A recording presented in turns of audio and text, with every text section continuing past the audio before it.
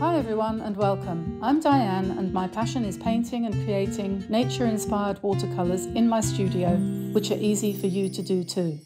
I share all my paintings with you on YouTube and on our website dianeantone.com you can find free downloadable sketches for all the videos to help you make the most of your painting journey. And if you'd like a little bit more, we also have channel memberships with loads of perks for you to enjoy. So welcome on board Click subscribe and turn on notifications and let's learn to paint watercolour. So today it's uh, time to paint some daffodils. We've got daffodils in our garden and this is some of they. And uh, it's interesting to look at them because uh, you can see they've got six petals and one large trumpet in the middle. And um, I'm going to have a go at painting them in a combination of watercolour and watercolour pencil and you'll see what I mean in a second when we get started with the materials. I'm going to do a setting which is going to be something like this in a garden and I'm going to add some bees and a beehive um, in the background instead of a tree. So um, this is uh, some reference material from Canterbury Cathedral in England and uh, they're rather beautiful. You can see the light shining through them as well whereas here it's just plain yellow. Now, um, to choose the colours, I'm going to my box of tubes here, which is my, my loose painting um, materials. I keep them in this separated tray like that. I've got my reds, my blues, my greens, my neutrals, that's to say browns and greys, yellows and, and black and white here. Um, so we want to look at the yellows and I'm going to select um, some yellows here and then I'm going to put them in my little ceramic dishes which um, I always use when I'm doing loose painting. One colour in a dish and um, then I use my large butcher's tray to do the mixing on. So I'm just take, going to take my uh, camera and fix it up here so that you can see me looking at these paints. So what colours are we going to want? Well, we need nice, clean, bright uh, yellows for daffodils. So we probably want to discard things like yellow ochre. This colour here, yellow ochre. Um, because this is quite a dull yellow and um, I don't think that will work. So we'll put that to one side. Naples yellow is opaque, so we don't want that. Now gamboge would be good because that's a nice transparent colour, but this is a Cotman paint, so that means it's a student colour and it's called gamboge hue, and hue means it's not actually gamboge. Gamboge is a true colour. Um, so this is a sort of uh, imitation so ideally we wouldn't use that, but if that's all you had, that would be okay. Then we've got, um, this one here is New Gamboge. Um, that's a Winsor & Newton Artist's watercolour. So that's a pure colour and that's a nice transparent yellow. So that's a definite possibility. This is an old tube. They call them professional colours now. They used to call them artists, but now they call them professional. I don't think they changed anything except the name. So I'm going to pop that one over there as possible for my palette of yellows. Um, this is uh, Aureolin. Aureolin is a transparent yellow. This again is an older tube. You can tell that um, by the fact that it's practically empty. And uh, so I might swatch that one out as well and see what that looks like for these daffodils. A nice transparent yellow. Um, this is a new tube. This is Scheveningen yellow. This is Old Holland. This is a light yellow, uh, lemon yellow. So that is quite likely to be a very good colour. We'll see. Gamboge Genuine, so that's the same thing again. That's another bright yellow. We've got New Gamboge and Gamboge Genuine. Um, this is cadmium yellow. Now you can use cadmium yellow. You might want to use cadmium yellow, but just be aware that the cadmium colours are not 100% transparent, so they can get muddy. But um, we'll take a look at that one too, probably. Um, Chevening, Scheveningen Yellow Medium. That's another pure yellow, so we'll put that one over there too. Yellow ochre, we said we didn't want. Um, this is a quinacridone gold, but this one is not a good, not a good one at all. It's um, quite opaque, so I don't use that much. That was a mistake. Whereas this one is a Horadam uh, Horadam quinacridone. That's good. We might want that. That's a nice transparent, more on the orange side. So that would kind of go towards the idea of, you know, perhaps the the the sheath of the, um, you know, this bit here. Uh, these papery bits here. You might want some quinacridone for that. Now I'm just um, coming to putting out my paints here and so far I've got um, sap green, which is what I'm going to use for the leaves and for the stems and for the bases of the flowers. Then I've got cobalt blue, because sometimes you need to make the green a little bit bluer. This is Scheveningen yellow, medium. This is Scheveningen lemon. And I want to open this tube of uh, Gamboge Genuine, um, but it's stuck. The lid is stuck. And so what I'm going to do is I'm going to drop it into very hot water just for a few minutes. Well, not even a few minutes, a few seconds will do. Um, and to save my hands, because, you know, I think if I were a man, I might be able to do this without any mechanical aid, but I've tried and I can't. So I'm going to use my old pair of um, pliers or pincers, whatever you call them, and then it comes off really easily. No problem at all to get that off. And uh, we'll see what colour this comes out as. I think this might do possibly for the shadowy areas. I'm not quite sure. It might, uh, might work. Anyway, we managed to get that one to relinquish itself for posterity. So we'll put that there so I don't forget what it is. Take water away. And um, what else have I got? Some quinacridone gold, probably a good idea here. And uh, then I'm going to have a look at these colours quickly and see what I've got. So that's quinacridone there. Oh, and then the other one that we were going to look at was cadmium yellow as a comparison. If we can get it out, yes. a nice big tube of this, but it is only a Cotman colour, so it's a student colour. Um, this paper is quite yellowish actually, so I think I'm going to try it out on a piece of whiter paper. This is the stuff I'm going to be using. This is Lavis Fidelis, which is an arches or arch paper. I can smell those daffodils. So that's the cadmium. Then this is lemon.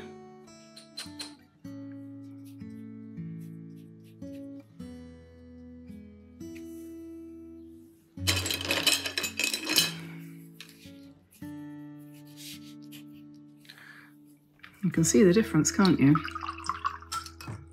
And this is Chevening, Chevening. this is yellow, which is also different. Scheveningen yellow. Then this is Gamboge. Gamboge genuine.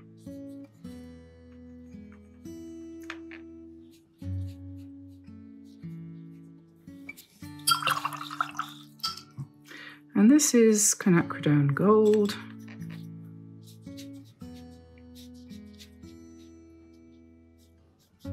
something similar there, isn't it? Then we've got sap green.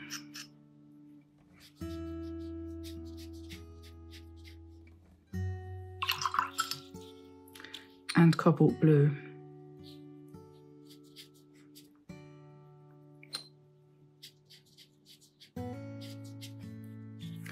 So those are the colours I'm going to be using. So we had cadmium yellow, which is somewhat opaque. Then we've got lemon yellow. Then we've got medium yellow. Uh, then we've got um, this one here, which is gamboge. Then this one is quinacridone. This is sap green. And this is cobalt blue. If you haven't got sap green, you could use uh, Winsor green. Same problem here. That's it. If it's really stuck, you need the water. If it's only slightly stuck, you can get away with just, see, now that's pretty vicious, that colour.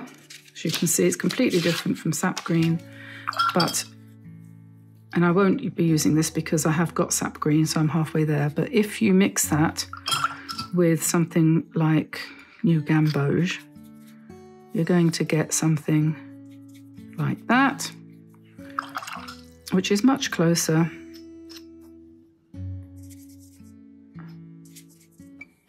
to sap green.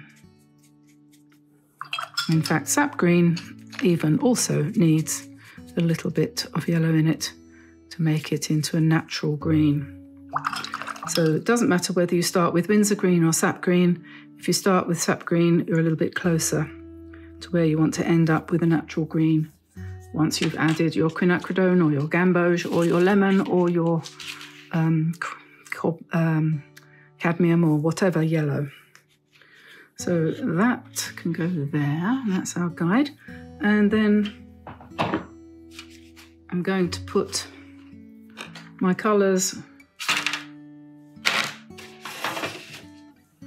on my butcher's tray, which is over there for the minute. We'll just pop those around the outside edge.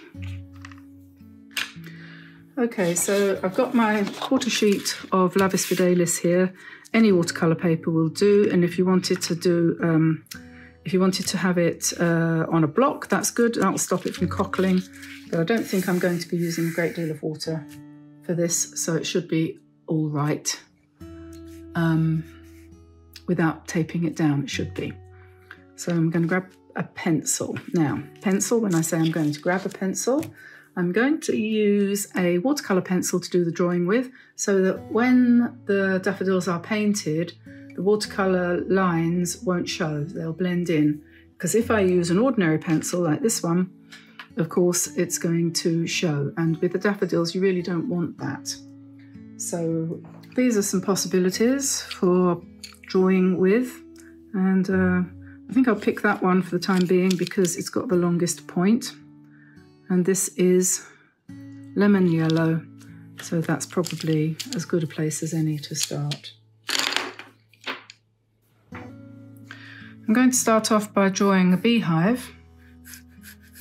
Um, so a beehive is like a little house, obviously. I'm using regular pencil for this because um, this is uh, not going to be painted in yellow. And uh, this particular beehive is going to be uh, a bit of a challenge when it comes to perspective. But uh, if you want the sketch, um, you can get that for free from our website, dianeantone.com. Just pop on over there and you can download it for no charge. And uh, so then there's little legs on the bottom and a little shelf there where the bees go in.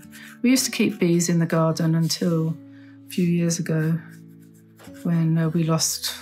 There's a big problem with bees and um, they keep getting sick. So we struggled on for a bit, but then we gave up because we couldn't spend enough time on them. So there's the beehive. And then um, I'm going to, um, let me see, I've got my photo here of the daffodils. And um, I'm going to use that to give me um, some ideas. So, and I've got these wonderful daffodils right in front of me. So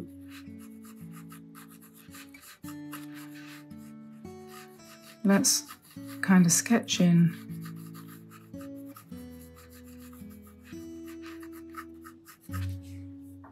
it might be that I need to use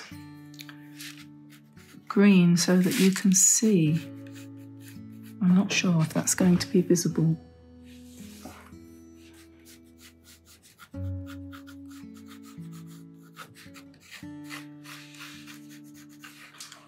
To light green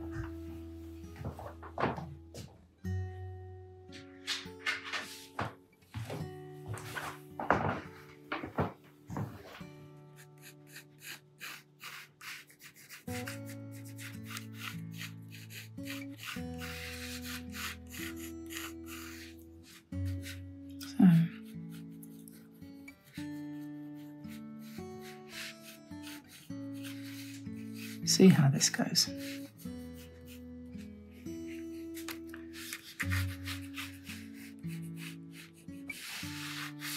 And hmm, we have a bud here.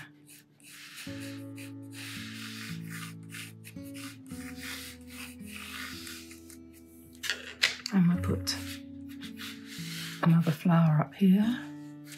We have them facing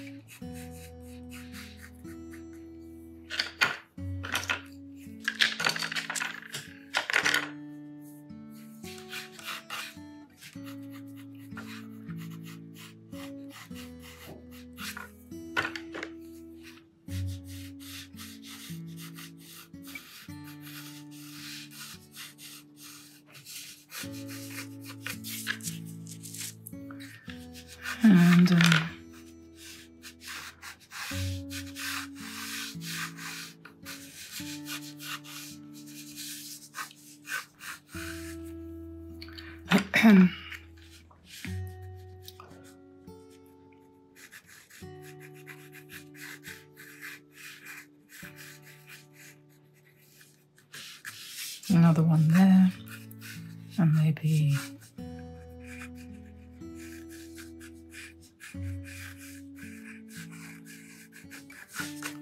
just sketching them in. We'll see what we want to do when it comes to painting them. I, I really don't much like planning things out too much in advance. And then um, probably was thinking I would have some bees, but I'm going to take some liberties with scale because I can't paint them too so small, can I? So we'll do them bigger than they really are.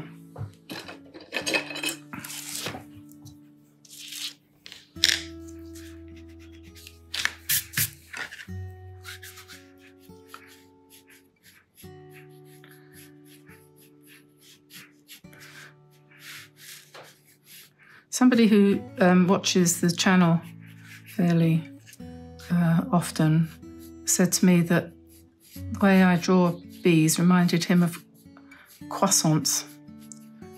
And uh, that was really helpful actually because ever since then I've been very much more confident about how to draw a bee. So I think to myself, yes, it's just like a French croissant fold it up like that, and then you just pop the wings on. Of course, croissants don't have wings, but there we are. So we've got four bees there, beehive, and some daffodils in the front. Um, so yes, so let's get started. Question is, what do we start with? And I'm thinking I'm probably going to start with the flowers on the daffodils, and I'm probably going to start with the lightest colour. So we'll come in with the lemon yellow.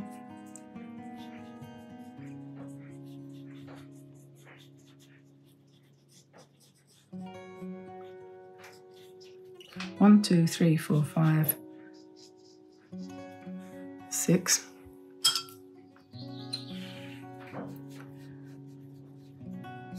And we will have to put some shadow in, but you can see that the um, the pencil isn't going to show, which is a really good thing.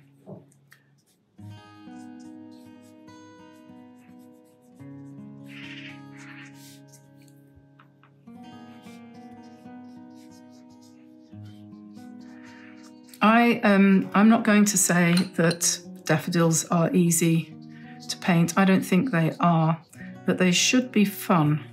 They should be relaxed. They should be, I think, um, something that you enjoy doing, and it doesn't matter whether um, they turn out, you know, oh, what's the word like? Uh, um,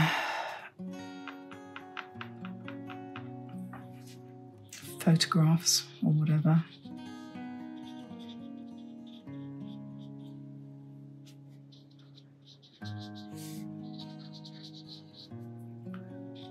Just put a little bit of slightly darker yellow in there and let that run a little bit.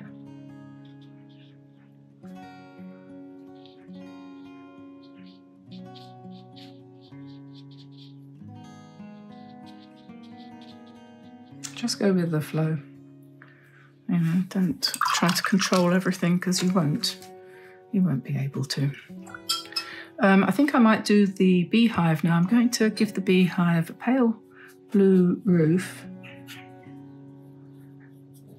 The one we had had a sort of metal roof, and so the best colour for doing that would have been um, cobalt blue. And then I'm going to paint the sides in a sort of slightly different shade of blue mixed uh, sap green with cobalt blue.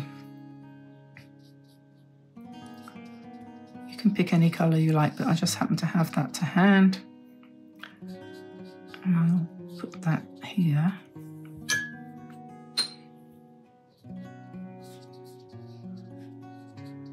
Just keep it nice and loose.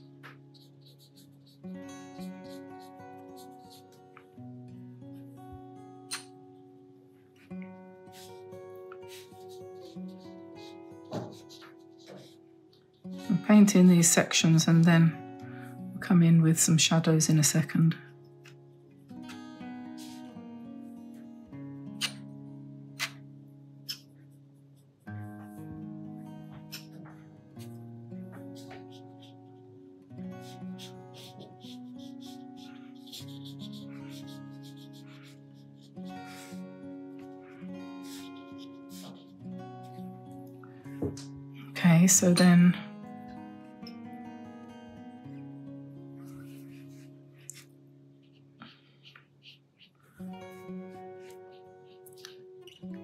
Sunlight is casting um, shadows underneath each of these louvers.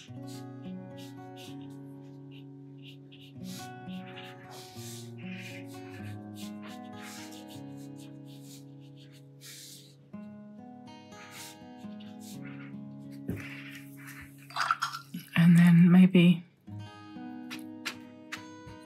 a little bit more, um, a little bit more blue on the roof that'll do for now. And now I'm going to paint the bees. So let's paint them. Let's use some cadmium yellow. Paint the, I like to think of them as being sort of stripy like that. Paint the stripes in. Some bees have got um, black bottoms and some have got more yellow bottoms.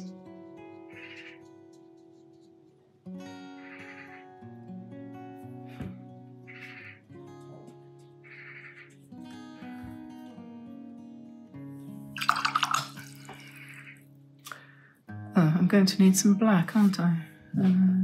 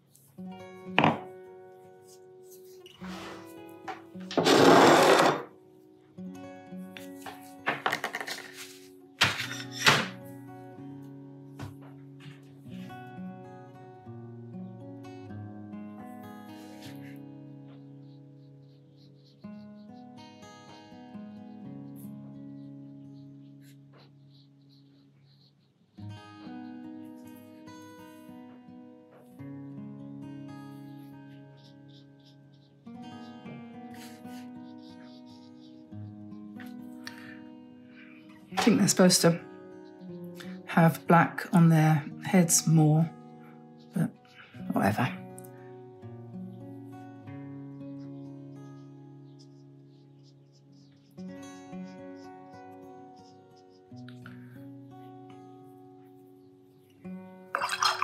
We just keep them really simple because, um, well, I'm keeping them really simple partly because I'm trying to do it reasonably quickly so that you don't get bored and go away and watch Russell Brand.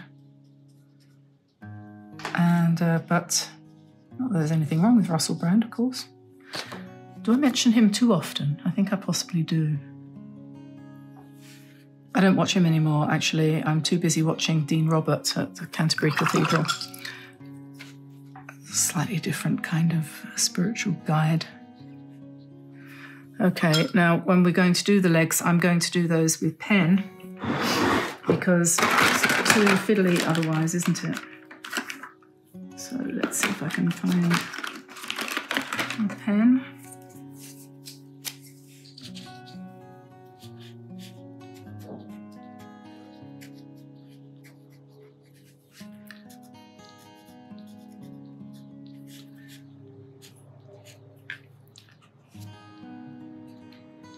Just let your hand shake when you do the legs.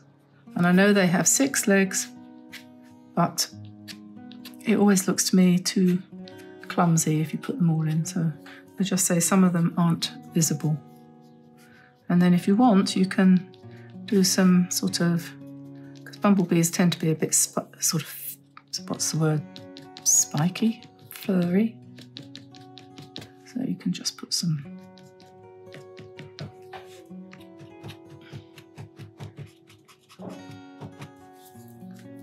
a little bit of that. Keep them nice and light. Okay, so now maybe we'll paint in some of these leaves. Um, so we're going to be looking for sap green mixed with a little bit of blue and or and or a little bit of yellow. Oh, I forgot. We've got these buds here, so we'll do those first in green.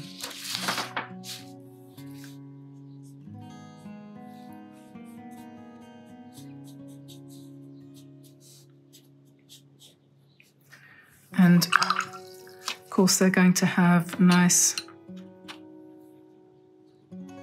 yellow at the end. So you could start with the yellow like that and then add the green. It's probably a better way around to do it.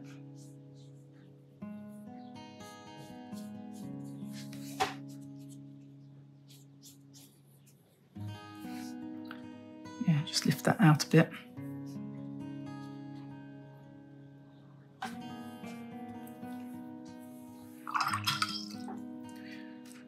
To our bluish green. The leaves are rounded at the top.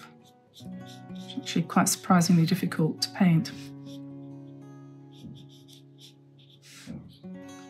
Put in the stem there.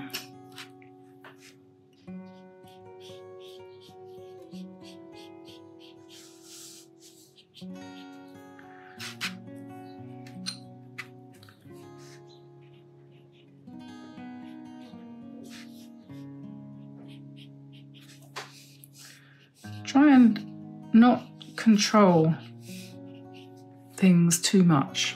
When you see the paint doing something that you quite like, just sort of let it. And then allow things to develop, whatever takes your fancy. If you suddenly think, I'd quite like to put some quinacridone gold in with the leaves, then, then do it.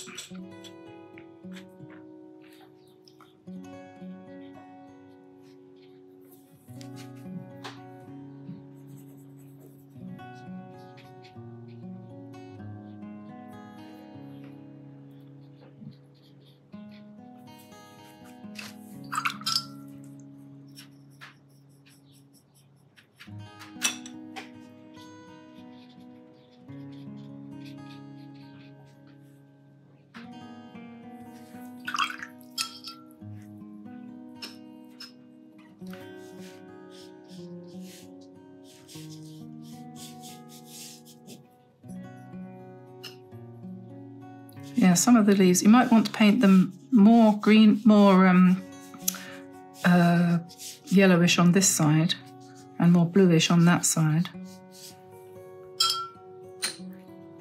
But you should have a bit of both on both sides. So you get a sort of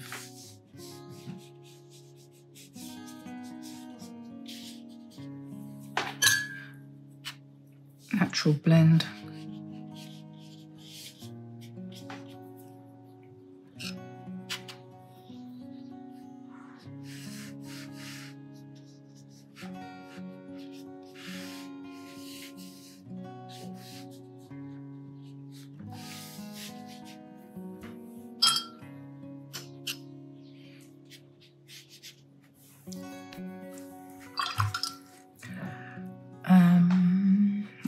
So we want some dark green underneath here probably.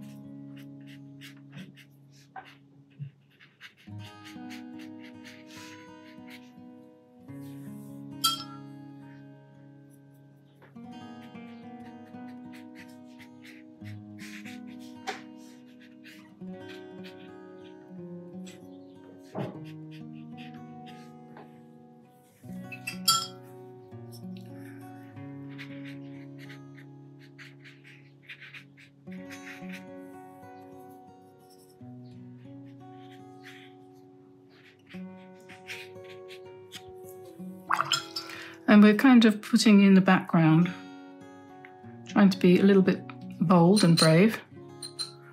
And uh,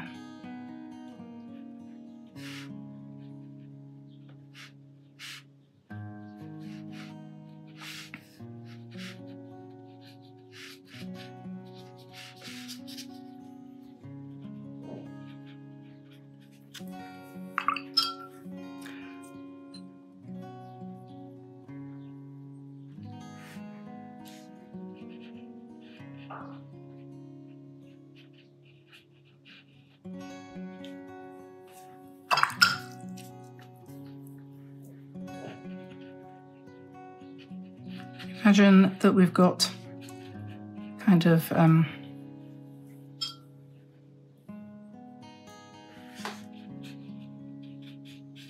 lots of daffodils in the distance. So we've painted a few close up, but in the distance we're going to have more. So we're painting alternately green, and yellow and blue.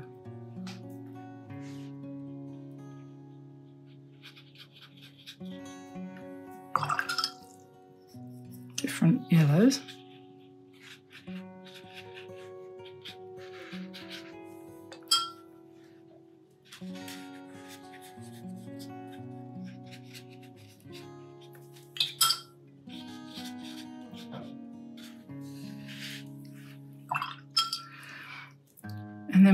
Down the bottom here, some darks in.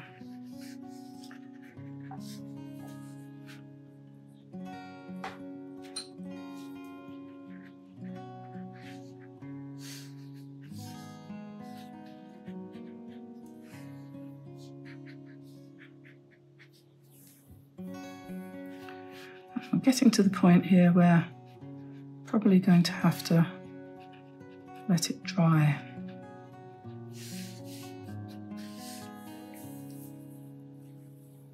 Soon.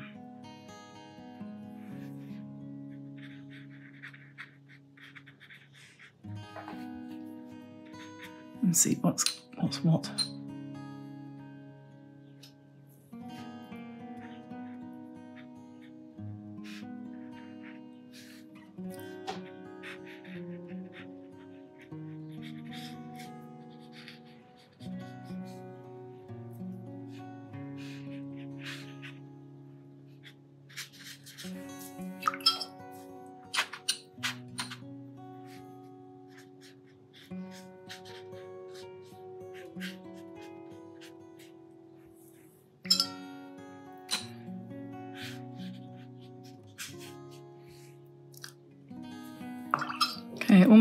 For sure I'll need a little bit more,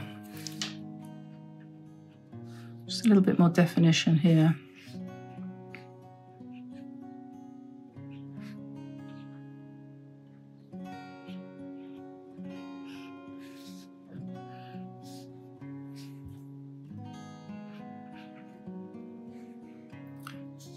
Okay, I'm going to let that dry and come back to it in a sec. So there we are, there's the final painting. I'm not going to do anything else to it, although you could. You could add some sky, you could do various other things. Um, just a simple, loose, impressionistic uh, watercolour of bees, beehive and some daffodils done with an assortment of watercolours and some watercolour pencils. And I hope you enjoyed that. If you did, go over to Diane Antone, excuse me, dianeantone.com where you can download the sketch and uh, have a go for yourself. So I'll see you again soon. If you enjoyed this, please give us a like and subscribe, and I'll see you again here soon. So bye for now, everybody. Bye bye.